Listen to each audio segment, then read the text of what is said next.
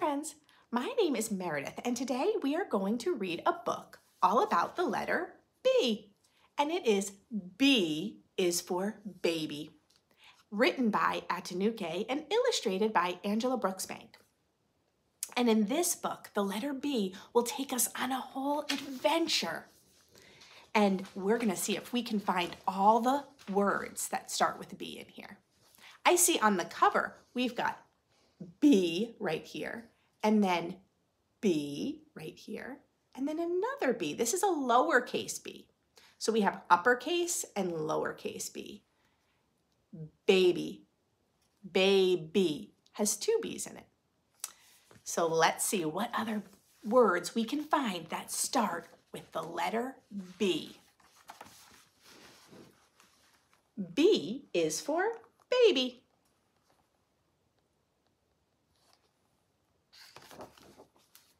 B is for beads. B is for basket.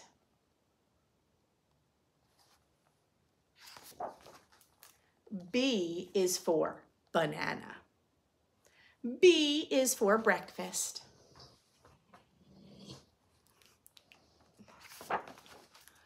B is for brother. B is for going to see Baba. Now the word Baba is also like the word baby. It has two B's in it, uppercase and then a lowercase.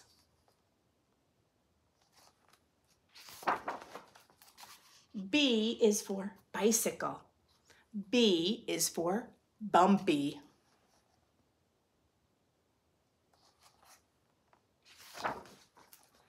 B is for baobab. And that's this kind of a tree. B is for big.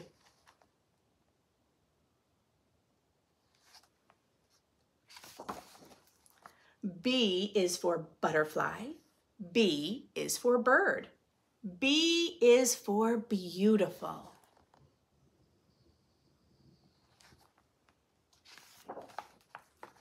B is for baboon. Another word with a lowercase b as well. B is for bus. B is for bridge.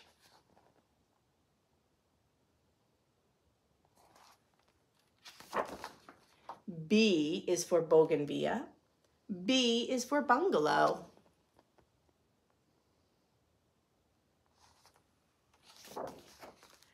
B is for Baba.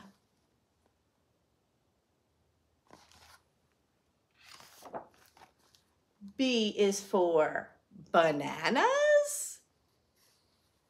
I think Baba has found a surprise in the basket. B is for baby.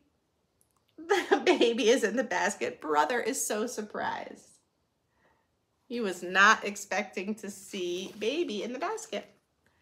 B is for biscuit.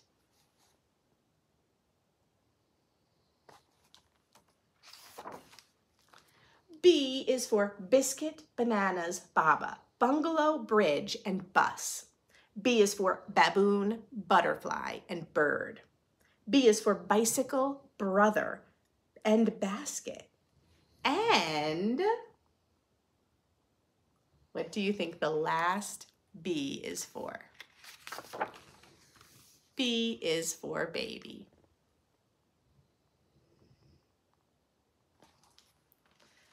So that is the end of the adventure with the letter B And the book, B is for baby. And I bet if you look around, you can find some more words that start with the letter B. I see one right here. Blue. The baby shirt is blue, and that starts with the letter B. So if you have this book at home, you can look through the pictures and see if you can find more words that start with the letter B. Or you can just look around the room you're in right now and see if you can find more things that start with the B sound for the letter B. Well, thanks for reading with me today. I can't wait to read with you again next time. Bye for now. Thanks for watching, and check out storyadventureswithmeredith.com. Hope to see you there.